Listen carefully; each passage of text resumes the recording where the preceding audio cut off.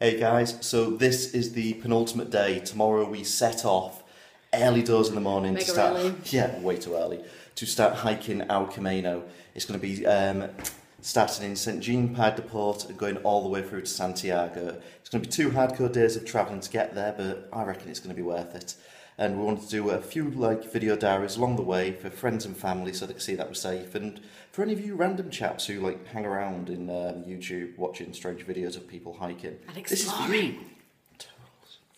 But um, yeah, this is the first video. So what we're going to do is we're going to break down the kit that we're taking and um, show you how we've got everything set up. So um, I'm going to go first. I'll show you my kit, and then my beautiful girl here will go over it all for you. Well, over hers for you. No, all for you. So first things first is the rucksack, and this is an Osprey Talon 44. Absolute beast of a rucksack, super light, really versatile. So there's loads of loops for me to lash stuff on the outside if I want to an exceptional amount of space on the inside. So I'm going to go through and break down all the items I've got in here. So we'll start on the outside, and the obvious things. This is a major point of contention. Instead of taking waterproof, because I don't like taking um, a waterproof jacket, especially in hot weather, because it just feels really clammy and sweaty inside it. So instead, it's going to be super airy. An umbrella! How sick's that, right? but um, yeah, it'll be a nice alternative to the usual, so it'll be interesting to see how it works. That's a blunt umbrella, and it's not a typical trekking umbrella, but it is more of a premium city umbrella. Uh, my girlfriend's got an umbrella as well, and she'll so, uh, show you that. I think that was a little bit better. Um, for trekking poles, I've got the MSR Sherlock Flight Free. Really good. Things I like about these is pull them out, lock into place, then you've got press studs to bring them back in again. It makes it really easy. Um, trekking poles, great for walking with, but these are also going to be the ridge poles for me tent. Got nothing in the top bag, mainly because as we're going through um, villages and whatnot, I want to get, uh, grab some supplies. No messing about, just open it up, sling stuff in the top. I'm pretty sure that as I'm hiking, a few favourites will end up in the top there, but for now, keeping it nice and empty. Right, in the top there, all travel documents. Um, when we're doing the Camino, we're going to have the Camino credentials in there. So again, really easy access so we can get to it, hand them out as we need to. Into the main body of the bag. On the top, like on the top I wanted stuff that I could get to really quickly. So if we stop, I want to get my boots off, slip into my flip-flops, let my feet air out a bit. If it gets a bit chilly, I've got just a simple Rab body warmer in there, so I can sling on, keep myself nice and cool, uh, nice and warm. And instead of a pack towel, I'm taking a Shemagh. Now, these things are amazing. This is going to be my towel, it's going to be a scarf, it's going to keep the sun off me. And when I get a bit sweaty out there, oh, that feels good. It's going to be a nice little sweat rag. Also, on the top, because when I stop, it's nice to just do yourself a brew or something. So, we've got Jetboil Sol Titanium, um, really lightweight, really efficient with the gas as well, so I expect one milligrams of gas to last me the full Camino, so that's going to be really useful. Also when we're camping out, that'd be really good to do some food on. Next thing, and always keep this near the top as well, this is the first aid kit. Um, Now, my girl's got some allergies, and so I've got an EpiPen in there. She's also asthmatic, so we've got um, an extra inhaler in there for her. And I basically, I sat down for a day and thought of all the things that could just go wrong, and then factored it into here. So we've got a metric foot ton of um, plasters, foot care, anything you'd like to deal with blisters, all the medication we could ever need, um, even like a few repair items and emergency fire starting, because who knows, right? But yeah, anything that we could be scared about, is covered in that. So it's a nice little peace of mind item.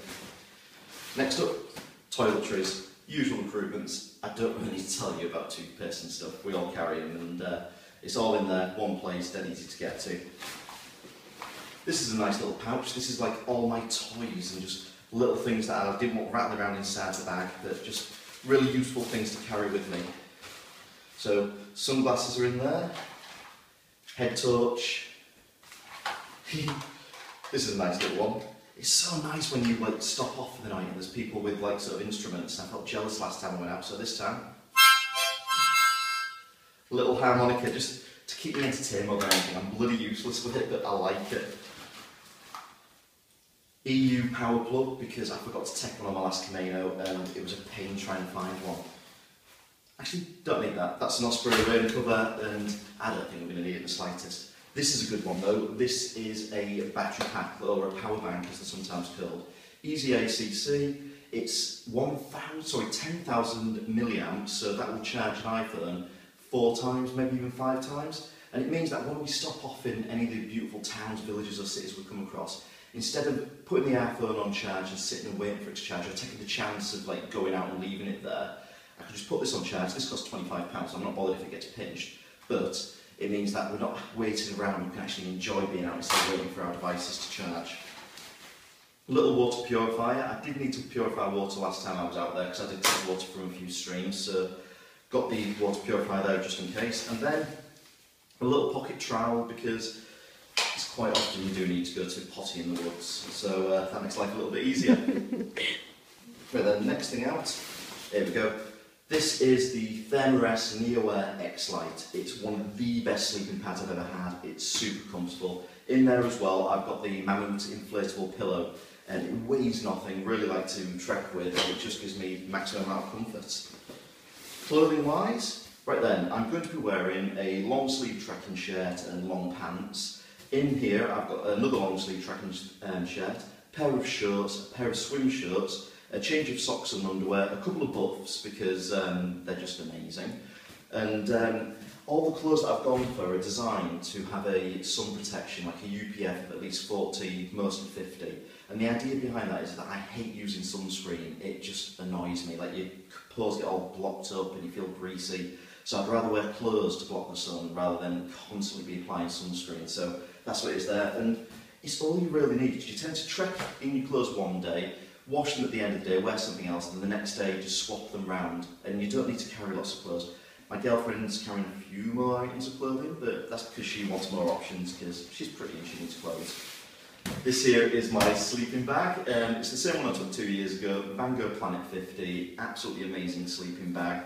It's got a natural inbuilt bug repellency and the beauty of that is And when you're camping out, it means I'm not going to get chomped to pieces by insects, but also, and it does happen very occasionally, you'll go to some of the albergs and they will have a bit of a bed bug um, problem going on there. And when I did camp in, well, sorry, I did sleep in one of the albergs that had bed bugs before, I was the only person who didn't get chomped on through the night. And I think that's purely because of the quality of the sleeping bag, whereas everyone else came out in a massive welt. So, uh, yeah, that was a good call by that one. And lastly, oh, this is a beauty. This is the Big Agnes Scout UL. It's a two-person tent. It only weighs something like 750 grams. It's about the lightest tent that you can get for two people. Like I say, use the trekking poles as ridge poles. Other thing I like about this tent as well is that it's actually big enough for two people to be comfortable inside instead of like feeling as though you're squashed in there. So when we do camp out a few times like we camp on the uh, way, it means that we'll be able to camp in comfort. Last thing that I forgot to mention is just this here. On the inside I have got a two litre water bladder. Now two litres is absolute overkill for the Camino. Like you easily get by with one litre. The reason I'm taking two is because um, I don't want my girlfriend to carry too much weight. So I'm carrying two litres so she can carry half a litre and I can just top her up. And just because I'm a bit of a chivalrous bastard like that really. So um, that's everything that I'm packing. I hope that was useful for you and um, my girlfriend's going to come up and show you what she's packing now as well. Hi guys, um, you've just seen Michael's video of what we're taking on Camino and I'm just going to show you what's in my bag. Um, as Michael told you before, we've got the hiking poles, which are going to be a big help for me because I've never done um, this far much travel before, so it's going to be hellish manic for me. Um, but yeah, these clip onto my bag as Michael showed me earlier today. Really good support for me. I've got my umbrella, which Michael's jealous of because it's better than his. I'm not going to open it in the house because it's bad luck. But anyway, um, in my clips, basically I've got here insect repellent travel wash, um, some hair serum because I'm a female, earphones, my toothbrush and a lighter just in case we start any quick fires. Um, my main pocket, I have here my journal. So while we're doing the Camino, I can write in little bits of my favourite places and special moments and stuff like that and keep it keep it written down there. Um, my, my makeup kit I've not discussed this with Michael yet, but this is my makeup kit that I'm taking. Every female needs to feel comfortable and because we're making so many amazing memories out there, I'll at least want a few photos of me looking half decent. So that is going with the baby. Okay. Um, I found these this morning, thankfully. I actually put them in the bin by accident, but my hiking socks. Now these are going to be a godsend while I'm out there because they're going to protect my feet in my hiking boots and make my feet not so gammy.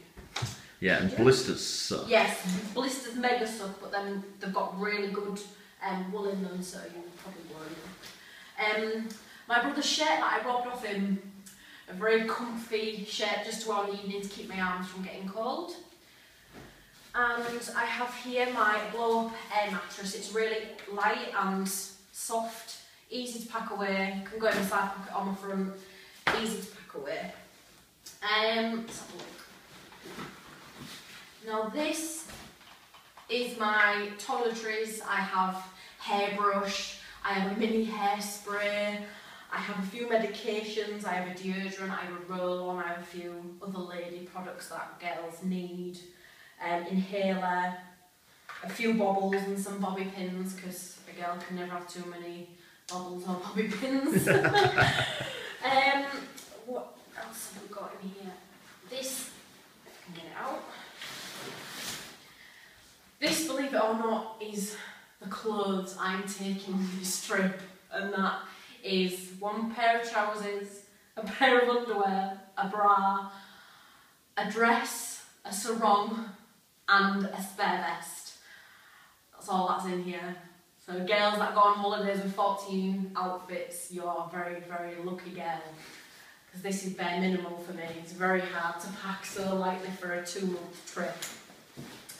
Okay, and last but not least is my Vango Planet. I think this is, yeah, it's a 50. It's really like compact and easy to outdo. Also, the pack that it comes in, 10 inside out, should be clothes in, and it's a pillow, that's perfect. So boom, yeah, I think my pack is officially empty. Oh, baby, how's that feel? You've done your first video. Yay! Yay, us.